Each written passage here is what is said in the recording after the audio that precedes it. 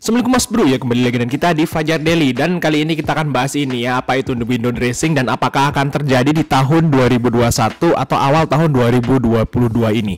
Dan uh, kalau misalnya benar-benar terjadi saham apa yang kira-kira kita harus beli Mas Bro. Nah, kita akan bahas di sini Uh, langsung saja lah ya. Oke, di sini uh, apa sih window dressing itu? Window dressing adalah um, strategi mempercantik portofolio investasi yang dilakukan oleh perusahaan maupun MI atau manajer investasi. Jadi mereka mempercantik portofolio mereka.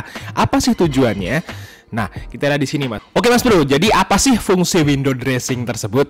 Nah, kan kita harus tahu nih fungsi window dressingnya itu apa sebenarnya.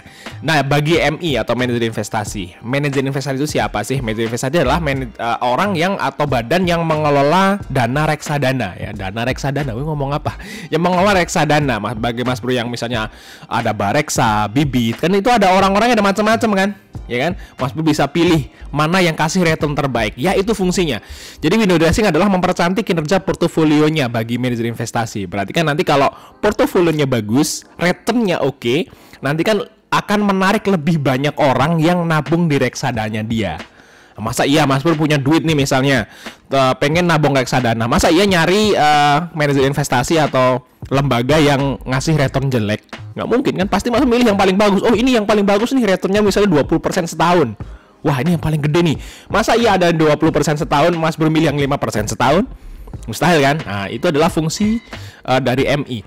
Apa namanya menaikkan mempercantik kinerja portofolionya. Caranya gimana? Nah, itu kan masalahnya. Loh kok bisa dia mempercantik portofolionya? Ya caranya dia ngepus atau ngegoreng saham-saham yang uh, mempunyai bobot berat ya di portofolionya dia biasanya manajer investasi itu beli saham-saham dengan big caps ya yang yang capsnya tuh gede-gede karena dana kelolanya kan gede. MI itu ngelolanya udah uh, angkanya udah triliun mas bro. Masa iya bisa beli kios? Masa iya bisa beli toys? Masa iya mau bisa beli truk? Kan nggak mungkin kan? Dana triliunan nggak bisa masuk saham gorengan. Kalau dia masuk saham gorengan jomplang terus arah. Arah 30 hari maybe. Satu triliun ini itu nah, mereka hanya bisa masuk saham-saham big caps. Nanti uh, kita akan bahas saham-saham apa sih yang uh, biasa dibeli oleh manajer investasi. Nah seperti itu Mas caranya menggoreng. Ya caranya gimana ya nggak tahu. Mungkin nge-HK kan gitu Atau ya bikin news lah segala macam kan mereka punya banyak cara karena da dananya kan gede. Bandar lah bahasanya. Apa pemain besar gitu. Oke, terus yang kedua, apa sih fungsi window dressing bagi uh, emiten atau perusahaan ya? Membuat kinerja usahanya menjadi lebih baik dan menarik investor baru ya. Contohnya uh, apa namanya emiten tuh mempercantik laporan keuangannya. Biasanya kan di akhir tahun kan uh, emiten itu laporan keuangannya kan bagus-bagus. Bagus-bagus. Kenapa mereka buat seperti itu dan caranya gimana Ya, mereka buat seperti itu karena untuk menarik investor baru. Misalnya mereka mau rek issue misalnya. Nah, kalau rek issue kan uh, kita harus nebus ya, kita beli sahamnya baru, saham baru dia. Kalau misalnya kinerja perusahaannya jelek kan kita males nebus rek isunya kan. Wah perusahaannya juga busuk, kita nebus juga sahamnya turun kan itu bahasanya. Tapi kalau perusahaannya bagus, nah kita mau aja nebus kan itu. Enak aja kayak misalnya rek isu BRI kemarin, itu habis ditebus itu. Nggak ada yang nggak ditebus ya. Semuanya habis ludes. Bahkan banyak banget yang ngantri pengen nebus yang nggak dapat rek isunya. Karena perusahaannya bagus. Nah Beda lagi kalau saham yang lain kan, saya juga nggak nggak sebut merek di sini. Ada loh yang nggak ditebus. Jadi rek isunya tuh nggak laku, ya itu banyak di bursa kita. Seperti itu Mas Bro ya. Uh, fungsi dari uh, window dressing bagi emiten. Penting juga sih bagi mereka ya. Oke, terus yang ketiga adalah fungsi window dressing bagi bursa efek. Tentu aja uh, menarik investor baru untuk berinvestasi. Kalau misalnya bursa efek kan namanya window dressing ya, uh, sahamnya rally naik gitu ya. Wah, bursa efek itu memberikan return yang lumayan loh tiap tahun gitu ya. Wow, luar biasa ya. Yaudah deh, uh, banyak orang-orang yang cerita seperti itu. Bursa kita naik loh uh, 20% setahun atau 10% setahun kan lumayan kan kalau misalnya uh, beli saham di situ atau nabung di bursa daripada nabung di deposito kan kan nabunglah di bursa seperti itu kan seperti itu. Jadi istilahnya fungsinya gede banget loh window dressing tuh ke bursa juga. Jadi dia menarik investor retail baru. Jadi orang-orang yang belum uh, belum bikin RDN ya, belum pernah nabung saham dia jadi tertarik. Wah iya ya naik terus ya. Kita lihat IHSG Composite Indexnya naik terus.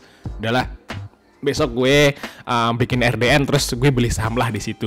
Dan fungsinya apa kalau ada investor baru? Dia dapat levy lebih banyak ya. Kalau Mas Bro tiap uh, hari beli jual beli saham kan ada biaya fee sekuritas. Nah, di dalamnya itu ada levy atau biaya bursa. Jadi setiap Mas Bro beli saham atau jual saham itu bursa dapat bagian loh.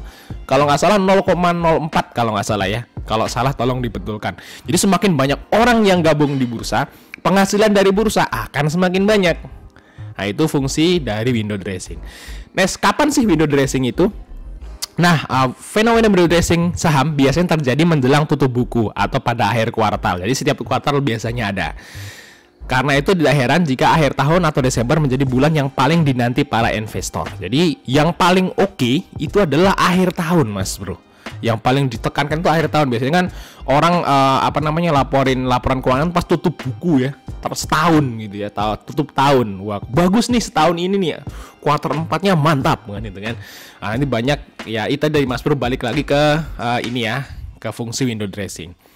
Nah uh, mempercantik uh, di akhir kuartal Mas Bro harus cermati di sini. Window dressing itu bukan Desember Mas Bro bukan Desember pas rally-nya aja. Nah, nanti efeknya itu di Januari ya. Saat nanti Desember tutup, nanti laporan keuangan di kuartal 4 itu pada mulai bermunculan. Nah, biasanya bulan Januari itu atau bulan Januari itu biasanya udah kelihatan. Walaupun belum muncul di IDX, mereka udah tahu kan rekapannya.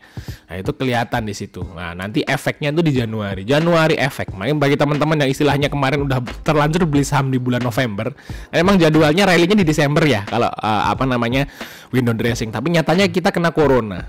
Jadi malah down gitu ya ekonomi saat ini. Nah, maybe kalau uh, Desember ini nggak naik ya kita tunggu Januari karena memang window dressing itu Januari efek ya di Januari nanti. Jadi nanti uh, menurut saya sih kalau mau ngambil suatu keputusan karena karena memang ini kita beli saham terus turun ya di window dressing ini ya kebanyakan saham dari Q45 kan turun karena corona ini. Nanti Mas Bro ngambil keputusannya Desember aja. Nah, jangan dijual sekarang kalau rugi ya. Sayang banget. Nanti kemungkinan Desember akan naik ini untuk uh, saham-saham LQ45. Oke, bagian tips membeli saham di kala window dressing ya. Incar uh, saham blue chips ya. Uh, pilih saham-saham blue chip yang menjadi pendok pendorong IHSG. Biasanya ada top 10 blue chip atau top 12 blue chip gitu ya. Mas Pur bisa beli salah satunya atau minimal beli LQ45 yang punya bobot yang lumayan besar. Nah, LQ45 kan bobotnya juga termasuk gede, tapi di LQ45 itu juga ada 10 saham top ya yang punya bobot gede, market capnya paling gede, Mas Bro. Beli saham-saham itu yang kemungkinan akan didorong oleh manajer investasi. Karena manajer investasi hanya bisa beli saham-saham dengan caps besar. Ya udah saya jelasin tadi ya. Nggak masuk kalau saham-saham gorengan yang kecil-kecil kayak kios truk itu nggak masuk. Mereka pasti masuknya oh, BCA gitu seperti itu ya. Oke mas bro sama apa aja yang kemungkinan akan dapat sentimen window dressing?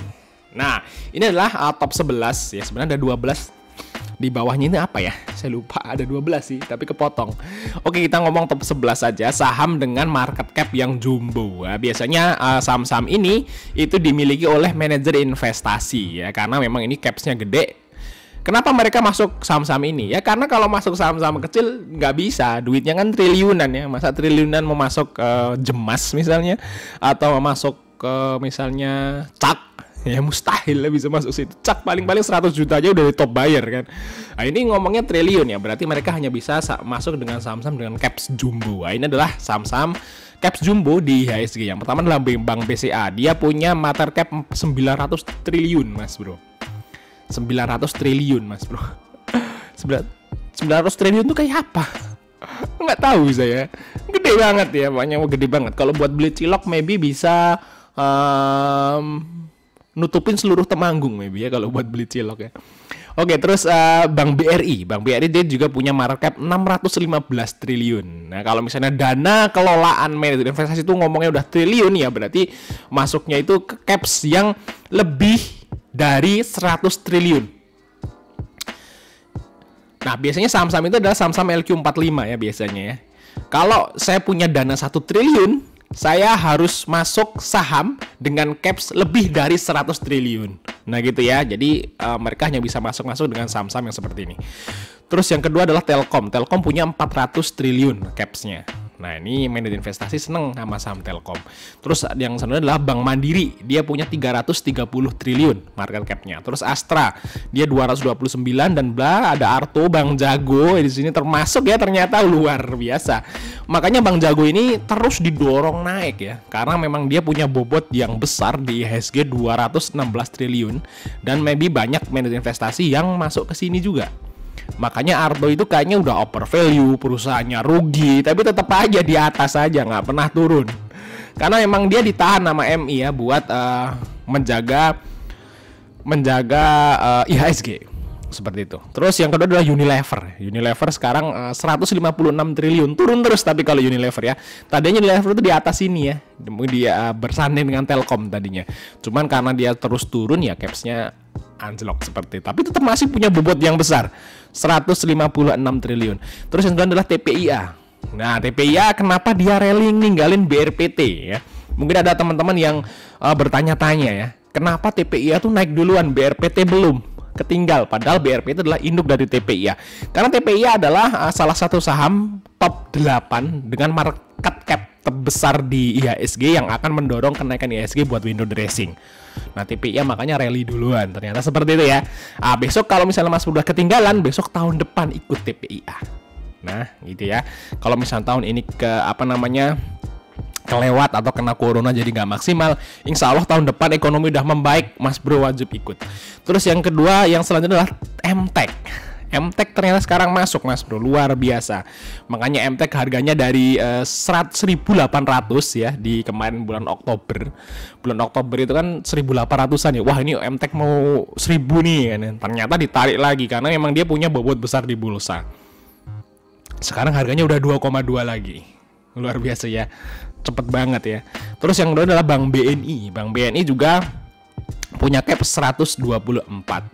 Nah, yang turun terus itu adalah HMSP. HMSP itu turun terus. Tadinya HMSP itu di atas HM Sampurna, cuman masalahnya uh, dia itu terus turun ya. Capnya jadi 113 triliun dan dia akan terus turun. Maybe akan segera digantikan. Kalau nggak salah dia akan digantikan maybe di uh, nomor 11 itu sama ICBP sama ICBP ya, Indofood Sukses Makmur, eh, Indofood CBP Sukses Makmur. Nah ini akan segera digantikan karena HMSP dapat sentimen yang buruk dari kenaikan cukai ya. Mas Bro bisa ganti ke nomor 12 kalau nggak salah itu ICBP atau Indofood Sukses Makmur tadi. Next, um, ya kita uh, kalau window dressing itu sebenarnya itu dimulai mulai naik tuh sebenarnya dari pertengahan Desember, Mas Bro. Dan ini udah tanggal 22, udah mau akhir Desember, masih luyu aja. Ya karena ini, Mas Bro ya. Karena si uh, apa namanya? corona ini ya udah mulai menyebar nih, beritanya udah mulai digoreng gitu ya sama media. Nggak tahu mereka itu maunya apa gitu ya. Paling juga nyari viewer. Karena pemerintah juga bilang kayaknya sih udah mul yang udah divaksin kayaknya aman gitu ya sama kov apa namanya Omnicron ini tapi berita di media terus saja nakut-nakutin gitu. Mereka cari viewer. Oke, ya mungkin itu aja informasi dari kita Mas Bro. Jangan lupa untuk like dan subscribe. Sampai ketemu di video berikutnya.